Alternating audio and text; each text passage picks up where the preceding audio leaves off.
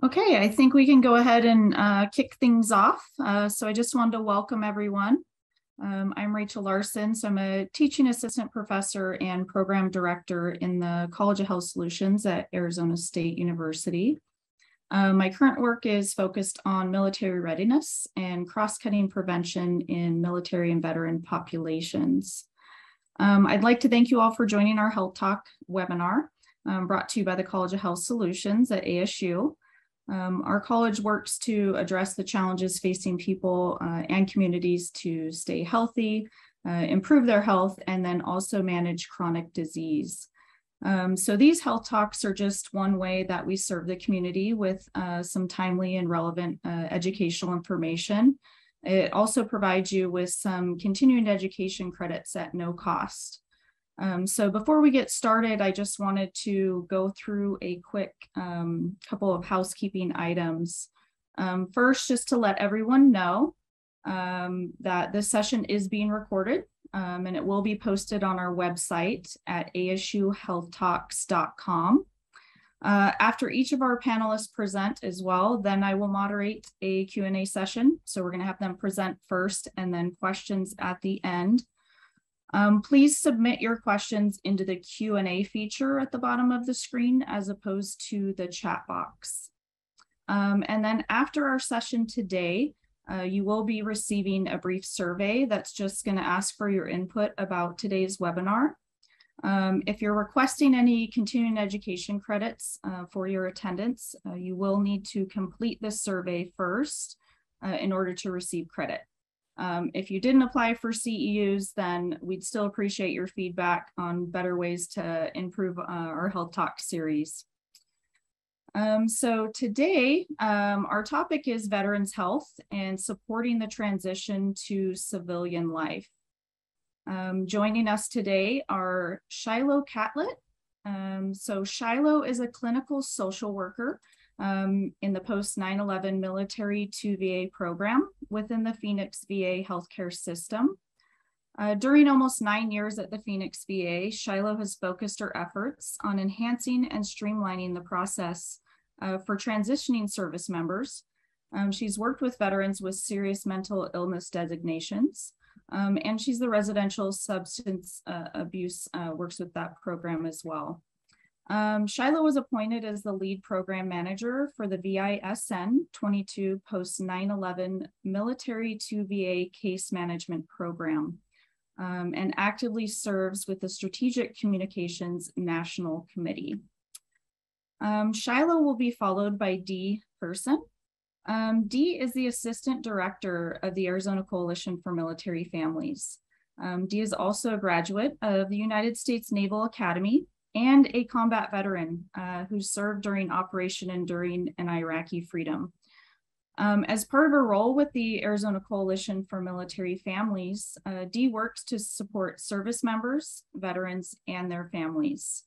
Um, Dee and her team are focused on empowering all Arizona residents uh, with the knowledge and skills to make a difference in the lives of those around them through four key areas um, statewide coordination and collaboration, uh, professional development and community education, regional community capacity building, and also strategic partnerships.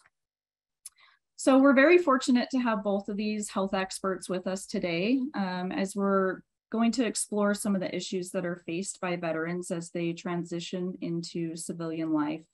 Um, we have more than 200,000 uh, men and women who transition out of the military every year.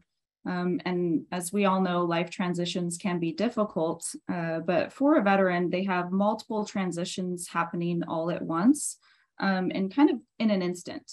Um, so we also know that there's a lot of struggles that come along with, you know, changes in possible, you know, geographic location, uh, household, um, identity shift. Um, they also may be experiencing loss of camaraderie um, and sometimes also loss in sense of purpose. Um, so key to you know successful transition is really connecting our service members to both resources and support. Um, so let's go ahead and dive into a discussion uh, on the challenges that veterans face and better ways that we can support them during this often stressful transition. Um, we'll go ahead and start with Shiloh. who will be covering physical and mental concerns, um, how local screening is occurring, eligibility for VA healthcare, and also ways to uh, connect veterans to the VA and its extensive services. So I'll go ahead and turn it over to Shiloh to share. Thank you so much. Go ahead. Oh. I'll make sure I share the right screen. I have three, and so it's a little overwhelming. Okay. Is everyone seeing themselves as well? Looks good. Okay. Thank you. Okay, so thank you, Rachel, for the introduction and sort of the, the quick, brief elevator speech on covering everything that we'll be talking about. Um, so as Rachel mentioned, my name is Shiloh Catlett. I'm a clinical social worker with the post 9-11 military to VA case management program at the Phoenix VA. So this is just a short timeline um, because not many people have heard of the post 9-11 M to VA, lovingly known as uh, case management program. So we started back in 2003 in, in, the, in response to OEF, OIF, um, and all of the combat deployments in response to 9-11. So the, the VA liaison program was established to assist in that transition, um, specifically related to combat veterans as they were coming back home from deployment to bridge the gap in connection to VA healthcare. In 2005, the Office of Seamless Transition was established, um, just further solidifying the actual processes and putting in some structure to what that transition process and support would look like. In 2007, the OEF OIF OND case management program was actually established, um, providing staff in the VA hospitals to um, welcome transitioning combat veterans into the VA healthcare system, provide some ongoing case management. And a lot of that really did focus on um, those veterans coming back with a serious injury or illness um, coming back from deployment and providing that initial screening and case management. In 2016, as we had some drawdown from combat deployments, they changed the name to the Transition and Care Management Program and expanded the mission to providing those transitional services to all post 9 11 and transitioning service members and veterans, um, regardless of the combat designation. And then in 2001, there was another name change and expansion of the mission um, to the post 9 11 military VA case management program, which we are now. And so we really are the, the point of contact for transitioning veterans, whether they've deployed or not, um, and connecting to and establishing care within a local VA healthcare system wherever they are residing. So the post 9 11 military to VA case management program is a national program.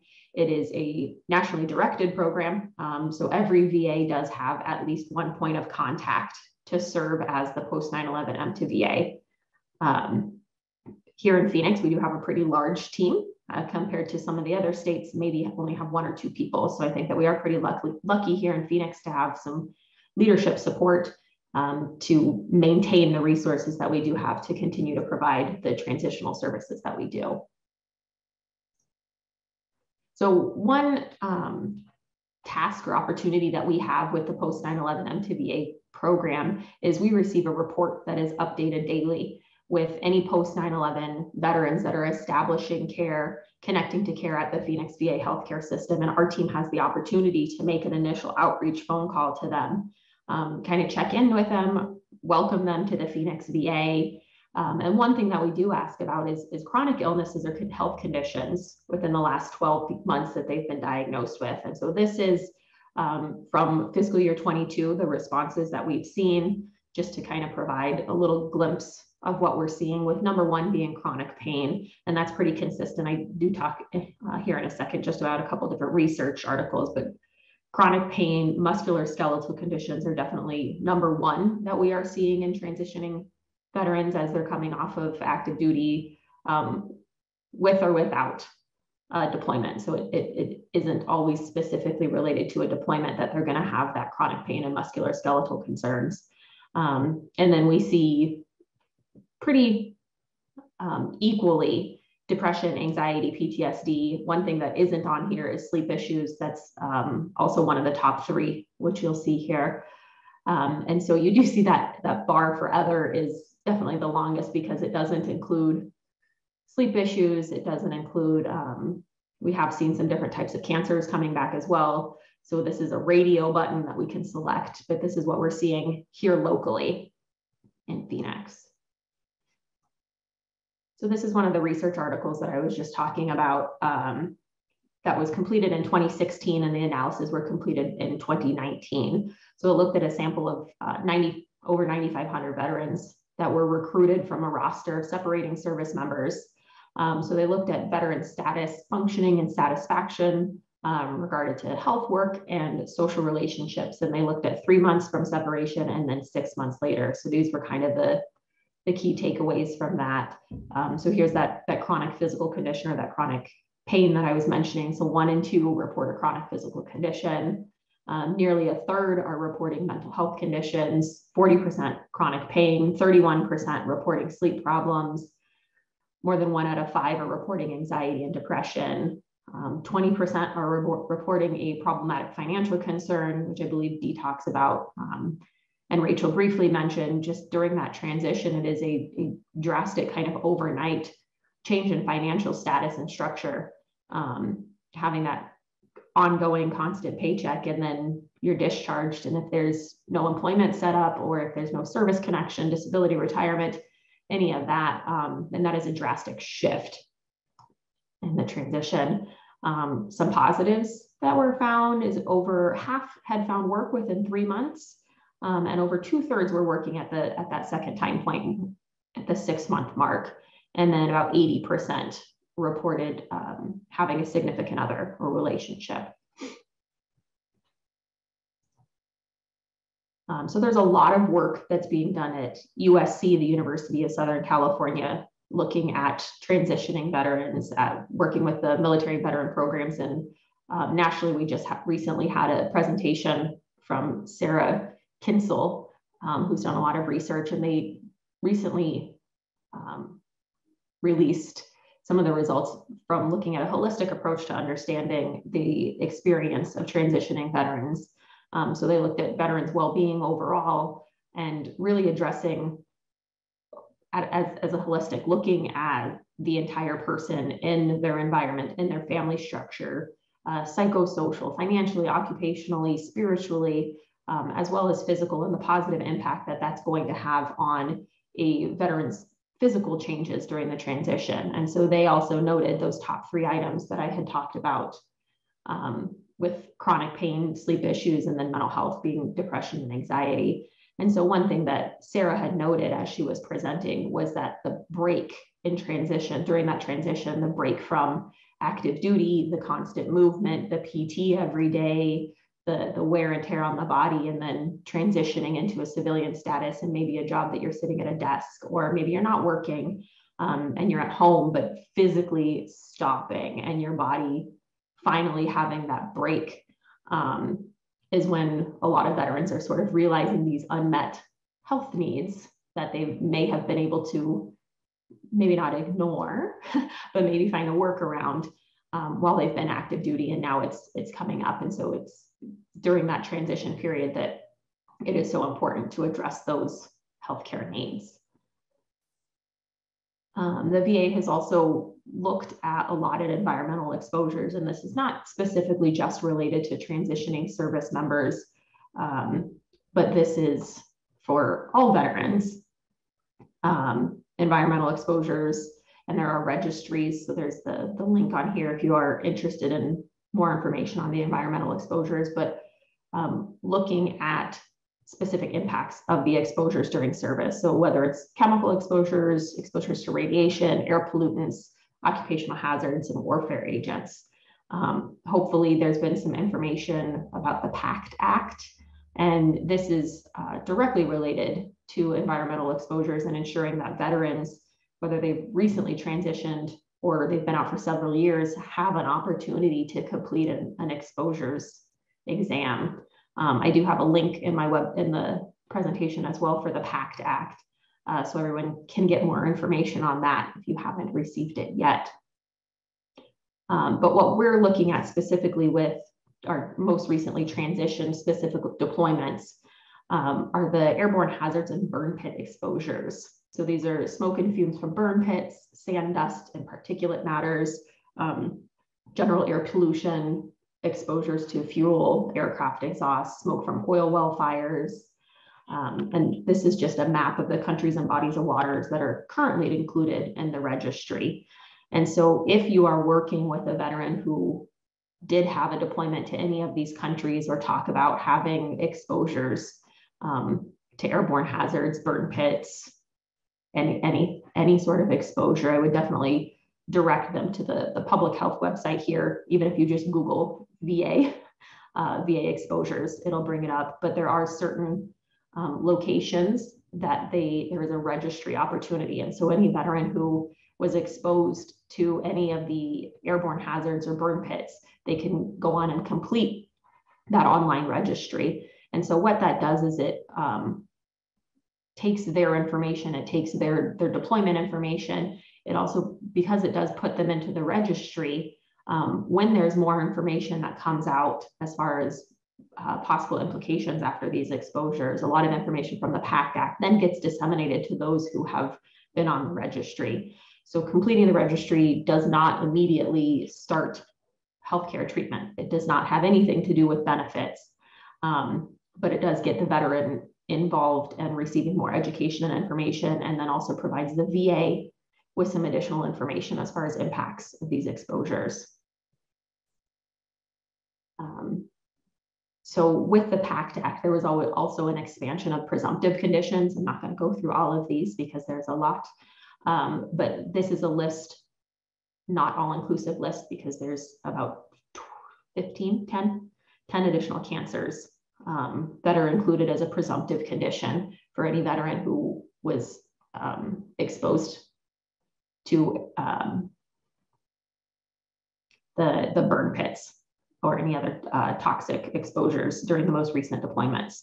Um, so what this means is if a, a, veteran has experienced, we'll say COPD, they've been diagnosed with COPD, um, they did have a deployment and were exposed to burn pits, they, the presumptive conditions. So the VA is now saying that this is assumed related to service. So this also impacts benefits. Um, so service connected disability, a veteran can go and then apply for service connection condition, a service connected disability related to COPD from their exposures.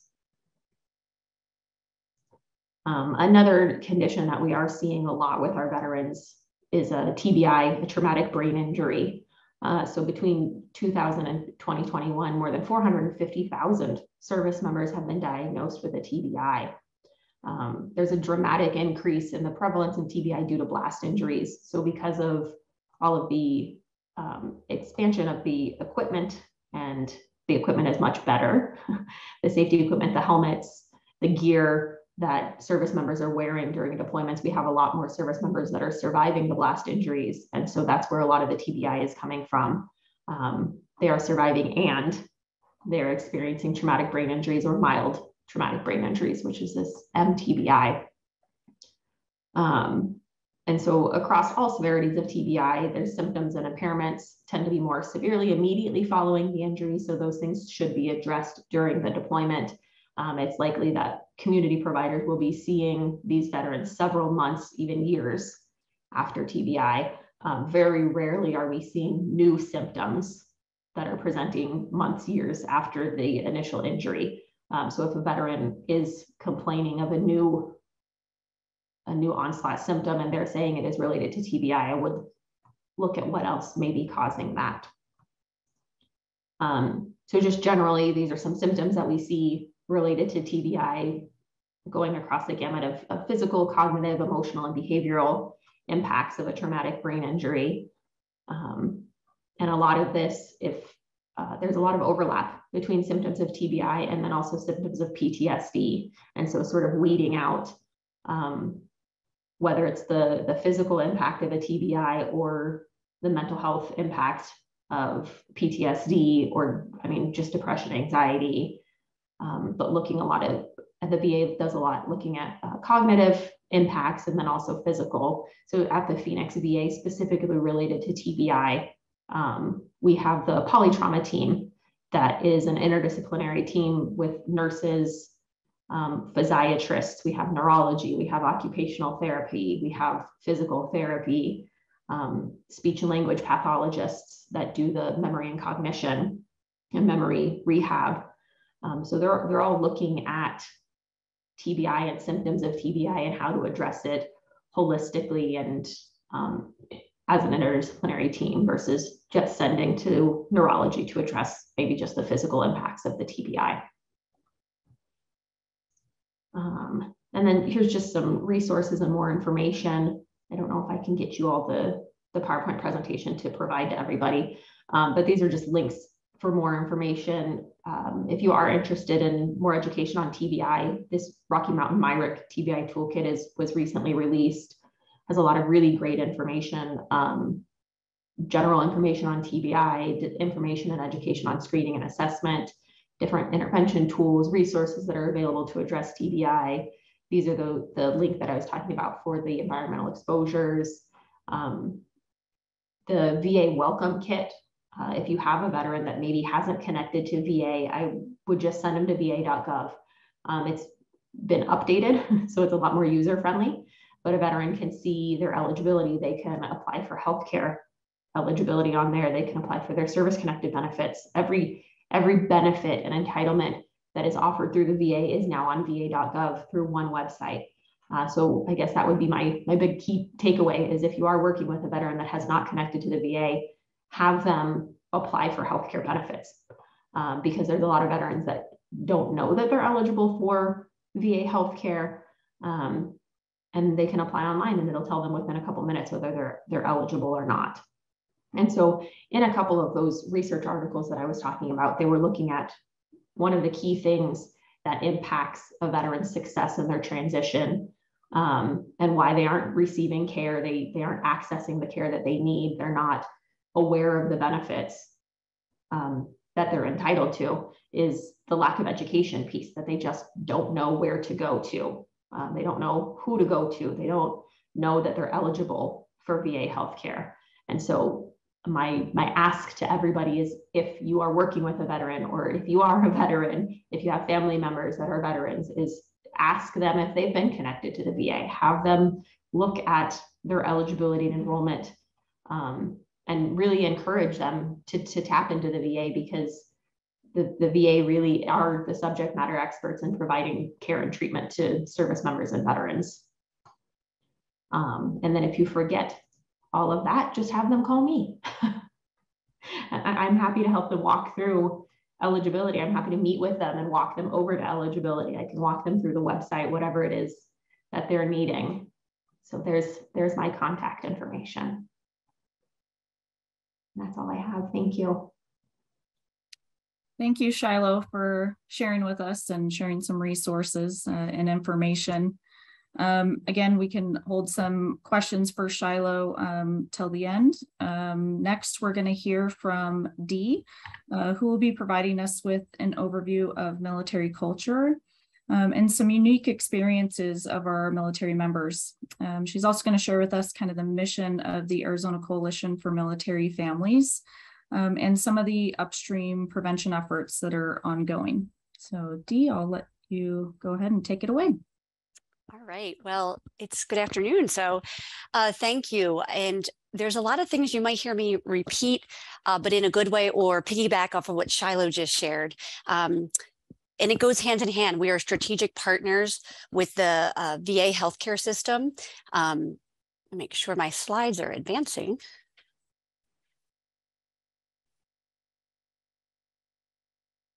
All right, can you see that? We've gone to the, oh, right, I see some heads bobbing, wonderful. Yep. Um, so just to understand, you may have heard us identified as the Arizona for um, Arizona Coalition for Military Families. You may have heard us uh, identified as Be Connected. And this is just a little quick clarity on, on who we are, how we work. Um, so the coalition has been in existence since 2009.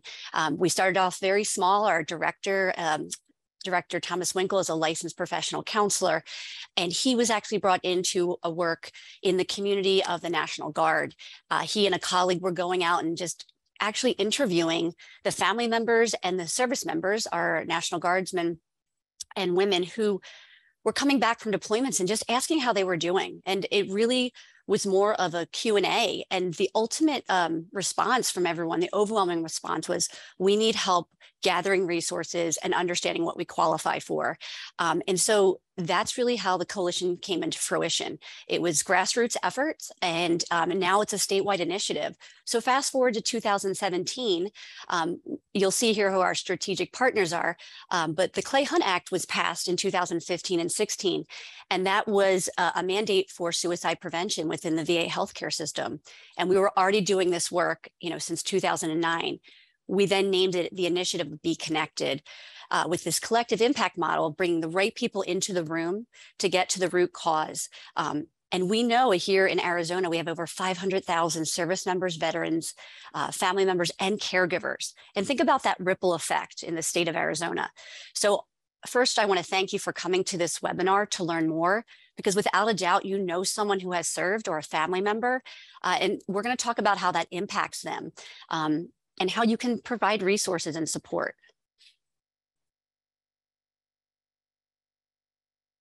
All right, so those strategic partners. To your left, you're going to see again, the VA healthcare system is listed there nice and big in the center. Uh, we work very closely with the governor's office, uh, the uh, Faith, Youth, Faith and Family um, Department. We also work with the National Guard, all of our installations here uh, in the state of Arizona. On a state level, we work hand in hand with the Arizona Department of Veterans Services. And then a very unique concept that you wouldn't think always plays you know, in each state we work differently, uh, but we work closely with the AHCCCS healthcare system. And that's very unique um, to be able to work with their directors, their healthcare plans to make sure that we come from a holistic approach, really, uh, those wraparound services. So if someone doesn't qualify for the VA or has their own personal reasons why they're not using the VA, we also look then to uh, partner with AHCCCS to make sure people are getting that care they need. And then last but not least, uh, TriWest. TriWest is the healthcare system that our retirees and our dependents receive care from. So that makes Be Connected on the strategic partners. But we have over 200 partners that are nonprofits, faith based communities, the AVSCs, which are Arizona Veteran Supportive Campuses. Um, we have the Arizona Veteran Supportive Employers. So, again, coming at it from this holistic approach that it takes all of us to help this population. And that is our strategic plan. So our next slide really goes into how we make this work. So taking your attention to the center circle, our, our theme really is no wrong door, no wrong person, no wrong time. Really removing the barriers that can be put um, either in the client's mind, right, that they feel that they're have a barrier in front of them, or truly in the systems that we have. These are very big systems that people have to navigate. And so our goal, when you see the outer circles, is that it takes that holistic approach, right? We need it from a state, federal, uh, local level. We also need that cross-sector collaboration. We were saying uh, our uh, businesses in the community, our employers, we need to make sure we have community helpers who just understand and are educated about what we do. We have some self-serve options on our website so that people who want to go and find out more, they can do that. Um, we go out and educate the community. So we do a lot of training like today, just so that you know what Be Connected is. Um, we have a support line, and we're going to talk about that, how we use our support line to help people as well. Um, and then the last circle that you see there is really those guidelines to care, making sure that we're coming from a place of integrity. Uh, because one thing we do know about our military veteran population is that they need to have your trust. They need to trust you. You have to earn that trust. Um, and so do what you say, say what you do. And making sure that the people we coordinate with and collaborate with are coming from that place of integrity as well, really key for our partnerships. So we're going to kind of dive into some military veteran culture so you understand for those who maybe don't have that background. Just kind of explaining how when we join the military, you come in, right? You're a civilian. Um, may you may yourself be a civilian, maybe do not have any military connections or family members. And that person comes in with their views, their opinions, right? That expression of themselves and we all go into a process called either boot camp um, you know each branch calls it something different but we literally are stripped down of those individual you know representations of ourselves and we're brought together in uniformity for the mission at hand whatever we're doing right with our organization our branch of service. Um, and so everything from how we dress in our uniform you know what um, we can do in our free time uh, because sometimes we have guidelines where we can go where we can't go. Um, it's a very unique situation in the military. And those unique bonds we take that shift to the right when in the picture that you see of our older veterans, those are unique bonds that last forever. And that's why this uh, population, when we bring them together, they feel that connection because it's very unique very unique to our you know family members who have served along with their service members uh, very unique again to the caregivers who have experienced the you know the struggles that a veteran can experience when they transition out um, and you have to think about this. Most of our service members come in with between just the ages of 17 and 24. And from a brain development stage, they're not even mature enough, right, to make some of the decisions they're making um, and some of the things that they're experiencing, right? The trauma, the traumatic situations that they can put into, or the very big, uh, again, risks that they're taking, uh, the amount of money, the equipment that they're responsible for. I have a 17 year old, and I often think, would I want my 17 year old, you know, doing the maintenance on the aircraft I was about to get into? Uh, and that's humbling, right? To know that.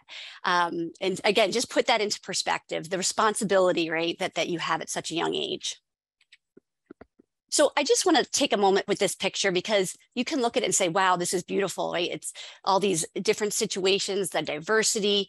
Um, but I want you to even take a deeper look because these are just snippets of these unique characteristics of our military the coming and going, right? We have our going away when we have to deploy, um, the welcome home, right? When maybe you're seeing a, a, child for the first time that was born while you were away, right? Um, the unique relationships where you see those gentlemen lined up in their uh, fatigues or camis, depending which branch you served in.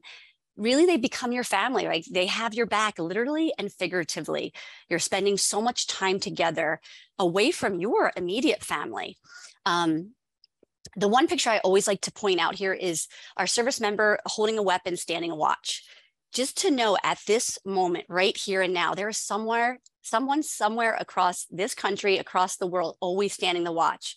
Um, and those, again, between 17 and 24 years old, making the decisions to notify their you know um, their superiors their chain of command if there's concern or worries right? They're protecting the people in those bases and units and assets that are there um, and so that we can sleep you know? We're here safely in our environment not worrying and there are ladies and gentlemen doing this 24 7 365 days a year um, and when you raise your right hand you know to perfect to protect and defend the constitution of the united states it is that time 24 7, 365 days a year. It's not a part time job. It's not like you and I, when we come to our job, you know, I clock in, I'm working, and I clock out. My, um, my personal business is not my employers don't need to know about that. But in the military, there's a different mindset, right? It's the unit, you're representing your country. That uniform represents something bigger than yourself. Um, so again, just looking at this and seeing again the helicopters, the amount of taxpayer dollars, right, that our young service members are responsible for, the lives that they're responsible for. Um, very, very unique. Here's just a quick visual about that active duty you heard me say. Someone who is serving in uniform every day, right? We have a, a star on each day of the calendar. And the reason I'm pointing that out is because truly their lives are not theirs. Um, they don't get to decide where they want to go, when they want to go. Um, they can put in suggestions and they may receive orders, right, to a, a, a, job that they were hoping for. But in the end, it's the mission that's the most important, right? And so you may have met veterans that were disgruntled because the you know the time that they served they didn't get to do what they wanted or weren't you know able to um, deploy if that's what they were hoping to do you also may have interacted with some of our National Guardsmen and our service, um, our reservists that also raise their right hand, but their commitment is one weekend a month, two weeks out of the year. And if you've served in any capacity for the reserves or National Guard, or you know someone that has your chuckling, because when you get activated, you look exactly like our active duty service members. And that's important for you to understand because again the families right? Every service member is is connected to a loved one in some capacity um, and that affects their family well as well just not that service member. Um, and are they equipped for that? You know when we were having our multiple deployments in support of operation iraqi freedom enduring freedom operation new dawn our national guard um, men and women were activated and our, our reservists at a rate they had never been activated before, multiple deployments back to back. And that had an impact, right, on all levels. So we talk about that, these unique aspects of the military. You know, what are they? We talked about camaraderie. So important to understand that they're spending hours, weeks, months together. We eat together, you know, uh, we sleep together in the in the barracks, right? We are, you know, cohabitating in these areas, and then we have to work together think about that with your coworkers. Would you want to do that? you know, you, no break. Um, I always think about our, our friends that are the submariners. I don't, you know, it takes a special person to be in a small place like that for so long underwater. Um, I was, you know, on two ships for nine months each time for our deployments. And I will tell you, you didn't always get to pull into port for three to five months.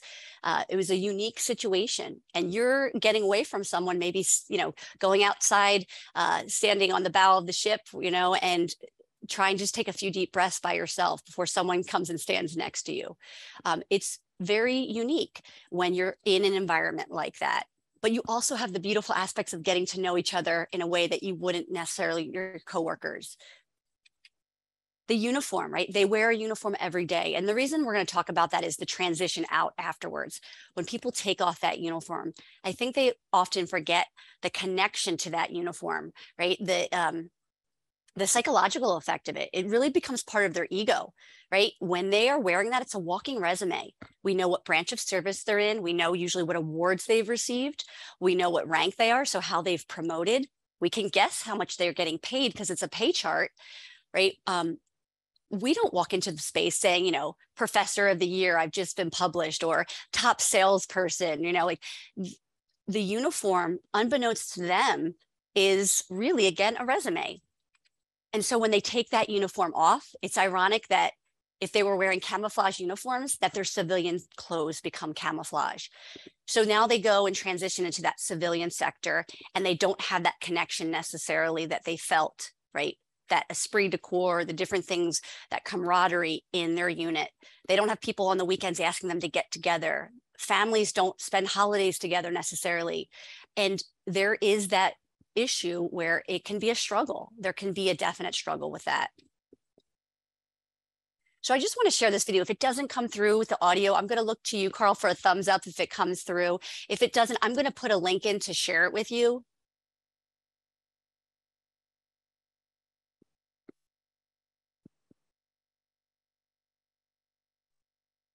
I'm not getting the audio. Okay, it. no problem.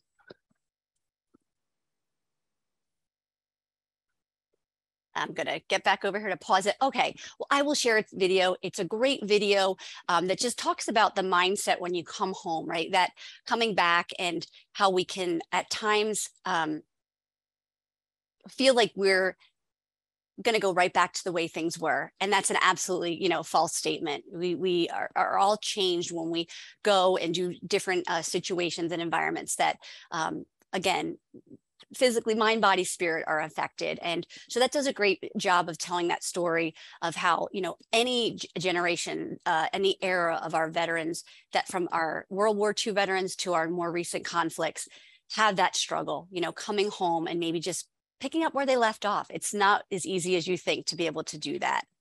Um, but what we always like to share is that 95% of our veterans transition successfully with the help of those family members, those um, community resources. We have that 5% that can struggle, right? They can struggle, um, and it's usually something that they've come into the military with before, right? They may have had um, their resiliency may not have been strong as strong. They may have had trauma in their lives before that. Uh, they innately may be more anxious uh, or you know have depression in their in their background. And so, but 95% of our veterans, we don't want people to think everyone's walking around having trauma and isn't able to function. 95% of our veterans um, and their family members successfully transition into that civilian service. Can they have things that trigger them? Can they have obstacles that get in front of them and they take a detour and they have to get back on track? Absolutely. But, but who does not? So um, we talk about this slide just very quickly again is how when we interact with our community members, our partners, always keeping that mindset uh, to treat everyone with respect and integrity. And a lot of our service members don't self-identify. So now they've become a veteran and they may not say, I served. Uh, they might not say, I'm a veteran. And that's important for you to know. It, it, might be something as simple as just saying, has anyone in you, you know, in your family served? And that may just start a discussion, really listening and being open-minded. some don't feel that they have served if they were in the National Guard, if they were in the reserves, if they didn't deploy. So again, just being open to hearing their conversation. Uh, we as an organization, we see everyone who's raised that right hand as having served and as, as their family members as well. Just want you to know that we, we respect and honor that and we will help them in any way we can. So how do we do that? Um, we have this ecosystem of support and I just wanna go through this really quickly because it's the social determinants of health. And this is what Shiloh was talking about.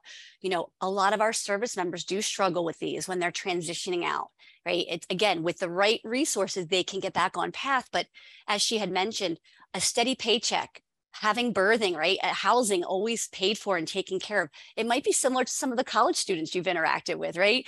All of a sudden the services aren't there and they have to learn this or relearn these things. Um, and so there can be a struggle. They don't maybe have like financial savviness.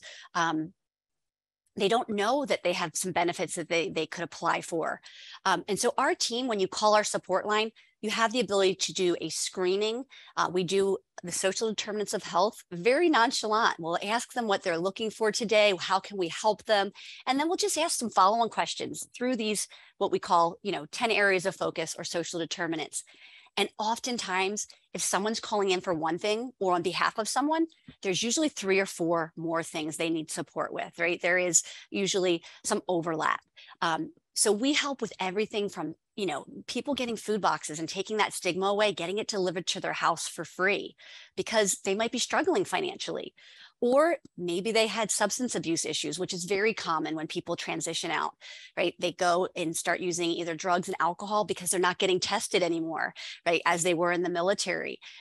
Arizona is a legal state now, right? And so they may get themselves into situations where they didn't know they had, you know, the tendencies for addictions. And so how do we help them?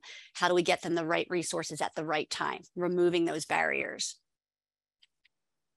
This video is not going to play, but again, I will put them in afterwards. Um, our upstream approach really is about intervening early with those social determinants of health. Our goal is that people are aware of these resources so they don't get to a point of crisis, right? Um, we come from a place of if we can offer assistance or help, they're not going to feel alone, right? We help them navigate these resources that can be overwhelming. It's a different language. They've gotten very used to their military acronyms and language and routines. And so coming out to the civilian sector where there isn't a, a standard operating procedure for those who've been in the military, you know, a textbook of instructions on everything to do, that can still be overwhelming to someone, the lack of structure. So again, early intervention, we know we have that better chance of, you know, um, interceding. So here's our ecosystem. It's a very busy slide. Again, I'll send a video. The video basically talks about each unique person, right? It's going to be uh, a veteran, maybe a young veteran that comes out and they may be in their mid 20s if they came in at 17 or 18. They may have served for four years. We have our senior veterans. They are going to look at different perspective from mental health. They might be wanting to talk to a spiritual leader because there might be stigma with mental health providers. So we know how to talk and get them to the services that they may need. Um, they may have had a bad experience in the VA. So we ask them to reconsider and we share some of the things that they've improved on. Uh, every organization improves over time, and we try to have these conversations to show support. We do do a two hour training that dives really deep into what I was going over today. I just wanted to share this. I'll put the registration link in the chat box. So if you'd like more, we do give um, two hour uh, contact hours. It's not CEUs. Some organizations, you know, will accept them, but they are contact hours. And the last thing I just wanted to put in, um, you know, here's our community uh, email address. That's a general inbox that I monitor with my team. Here's the support line that I mentioned. Monday through Friday, um, 8 a.m. to 5 p.m. You can talk to one of our 12 service members, uh, or excuse me, veterans, military connected employees, all of them have served or their family members have served. So they understand this lifestyle, they understand the struggles, um, and they will help you, you know, guide anyone that you're interacting with. And that's important for you to know. You're going to go to a, you know, to, to an event and you're going to say, I went somewhere, it was this organization, I can't remember remember the phone number 1-866-4AZ-VETS. Again, we can help you. We'll, we'll help translate that phone call. If you're like, someone told me to call, I don't know why, um, we'll talk them through and see what can, we can help them with. there's our one of our websites. Um, if people are interested interested in partnerships, sometimes you know of an organization that is doing great work and we want to invite them into our ecosystem of support that they have resources. And that's the it. That's the end. So I know we just have some time for questions and I'll turn it over you to you, Rachel. Thank you. Uh, thank you, Dee. Uh, a lot of great information that you shared there. Um, and it looks like we do have some good questions coming in here. Um, so go ahead and get started with the first one from Kate Dobler. Um, what are the resources for VA veterans and or their families who are diagnosed with substance abuse or use disorder? All right, I will jump on that one. I was sort of reading through them, making sure I had phone numbers and correct answers for this. Um, so the Phoenix VA um, actually has an entire substance use disorder clinic. So we offer inpatient and residential, so intensive outpatient and residential substance abuse treatment um, within the VA. So I can put in the self-scheduling phone number, veterans, if they're connected to primary care mental health, their provider can submit a consult, um, but they can call directly. Um, our emergency department also has mental health staff 24 seven. So if they're in crisis and needing some assistance now, now they can walk into the emergency department and get connected to some substance abuse treatment as well um, but it is outpatient and residential. And there's a whole gamut of services offered, whether it's individual substance use treatment um, or our intensive outpatient is nine hours a week. So three days, three days a week, three hours each day. But I will put the phone number in the chat as well.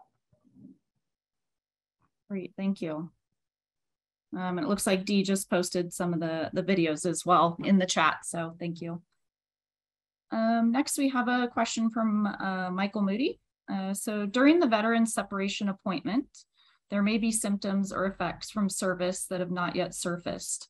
If the veteran has not disclosed things that they have not experienced, um, as you mentioned, going from being active duty or daily to a sedentary environment, uh, nine times out of 10, their compensation and pension department denies these claims. Um, so is there any ongoing conversation to uh, retroactively have these claims um, adjudicated uh, in favor of the veteran? I'll jump on that one too. um, so it's not an automatic process, um, but at, at, any point in time, any veteran can file a new claim or file um, secondary there's a specific term and I was trying to find it and I had it a second ago. Um, but they can always file additional claims or apply for an increase of service connection um, just to have a currently service connected condition reevaluated for an increase.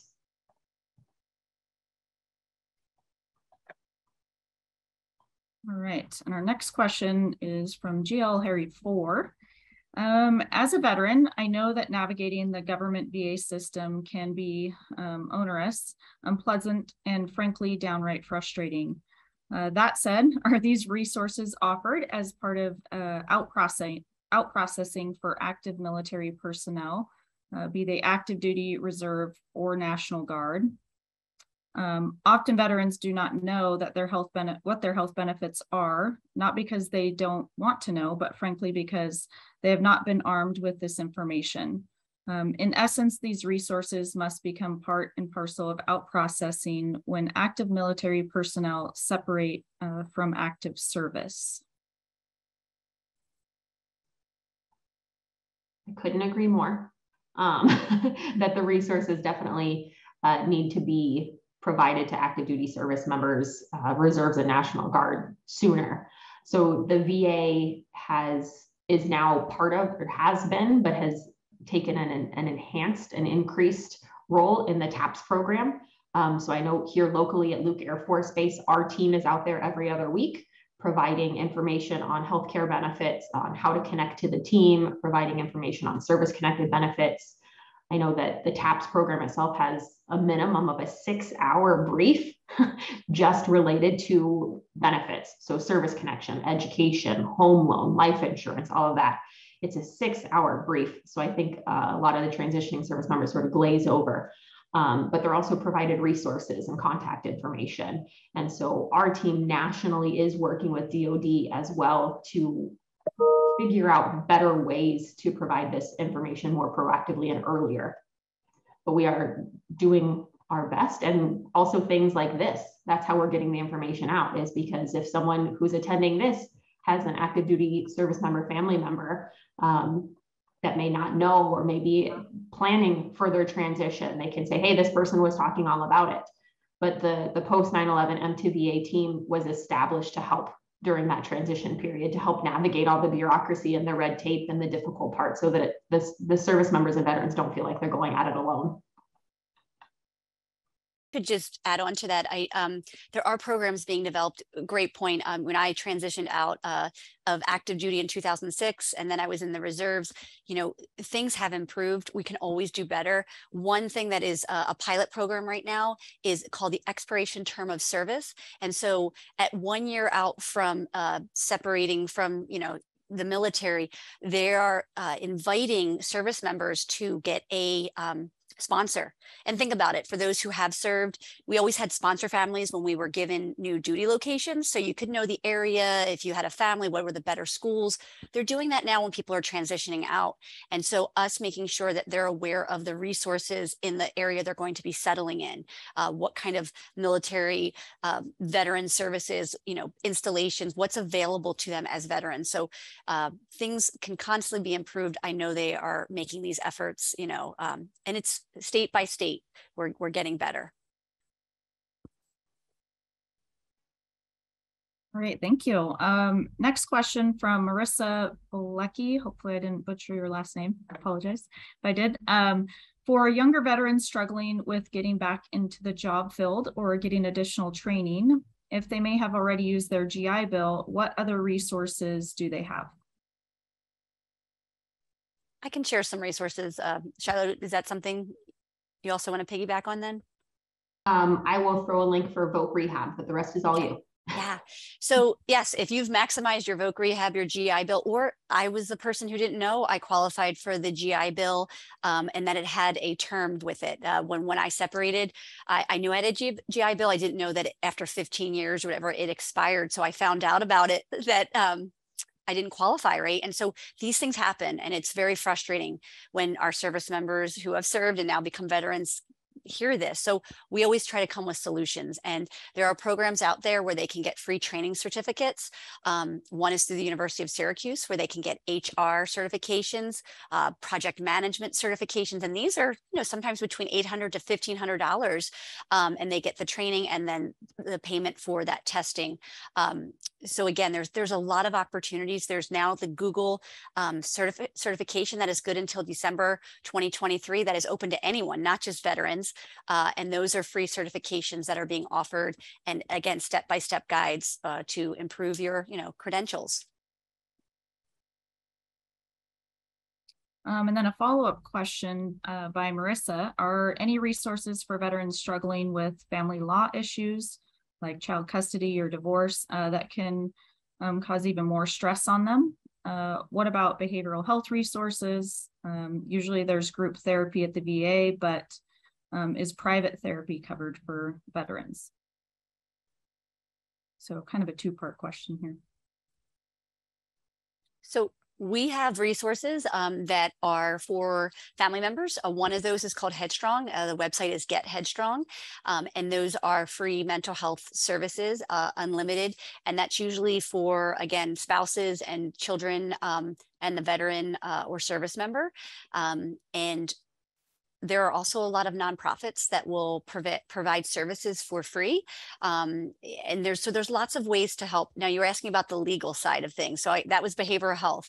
From the legal perspective that's always a touchy one right? Um, so there are people who are willing to assist pro bono to an extent and we do have resources that you can call our support line and they'll put you in that right direction. Um, I will say that legal again is not 100% free. It might be those initial screenings and then they'll recommend you someone that will work with you on a, a sliding scale. Um, but that is one of the resources that we struggle, you know, when there are our needs. And just to piggyback on the mental health resources available, um, the VA does offer several options for group therapy, but also offers individual therapy and couples therapy as well. Um, I put the phone number in there for any veteran who is interested in connecting to mental health services. They can call and schedule an appointment directly. Um, and then in addition to therapy, there's also medication assessment and management as well. And if it's um, if the VA isn't able to provide that service in a timely manner, we do utilize community care consults. So tapping into our community care partners to provide that care that the VA pays for through the approved approved process. All right. Um, next question, Neil Robbins. It seems like a lot of the care is driven by vets and family members being aware of resources and then going out to engage with them. How much more can be done by support services to proactively reach out to vets? And what are the limitations? I think uh, what Dee mentioned earlier is that uh, there's always there's always there's always more that can be done. And so a lot of it is is providing our education to our community partners because we we have limitations within how we can work but we can provide you the education. So when someone comes to you and says i'm having a real difficult time in navigating this or real frustration um, in figuring this out you can say i attended this training and here's a phone number that you can call. Um, I, within M2VA, we do make those proactive phone calls, and we're getting about 300, I would say, post 9 11 veterans that are registering at the Phoenix VA and attending appointments for the first time. And then on the VBA side, Veterans Benefits Administration side, there is a, a program called Solid Start. So they receive a roster of transitioning service members and make three different attempts throughout the first year of transition to make those phone calls and ensure that the that the veterans have the understanding of the benefits and how to access them. And if they do have questions about healthcare, they are referring directly over to our team. Um, so they would cover the benefit side and then refer to us to follow up on the healthcare side. Okay, and maybe one more quick one. Um, I know somebody's looking for a phone number um, to the M2VA department. And then last question by uh, Charles Hale. Um, what can we do better at for providing on-campus resources for student veterans? No, great question. I can take that. I, I know um, we work closely with the vet centers uh, at all of our community colleges, our universities, all of our educational institutions that will will let us do trainings or provide information. You know, we know that you have some great services already in place. Our goal is to come and supplement that, right? To be that, again, holistic wraparound. So um, if there is something that your vet center isn't able to do, vet student center, then again, we're hoping that they're referring that, you know, to the Be Connected support line and saying, hey, what is available? You know, what other things are there out there? We also know of national programs that are available that, you know, there are immersive programs where people go in and get um, uh, again, on-site treatments for them and their families. Uh, one is called Home Base Inc. I can put that in there too. It's fa fascinating uh, the work they do. Um, but I mean, they they fly the families and the service member, the veteran, uh, and they'll spend two to three weeks. So it's a, again an immersive program for the family and the and the, the veteran. Um, so if there's any questions on that, reach out. Again, the support line is a great way to start, and then we can always follow up with more training if needed. All right. Uh, well, I just wanted to say thank you, everyone, and thank you to our, our panelists, um, and thank you for all the great questions. Uh, that's unfortunately, that's all we have time for today. Um, but we do encourage you to follow the College of Health Solutions on social media. and we have a, a couple uh, links up on the slide. Uh, so you can learn more about other opportunities uh, similar to this one. Um, our health talk series will continue next month uh, with a talk on vitamin supplements and precision health insights and uses. Um, that talk will take place on Thursday, December 8th at noon, uh, Arizona time. And then details and registration will be available at asuhealthtalks.com. Uh, so thank you again for joining us and have a great rest of your day.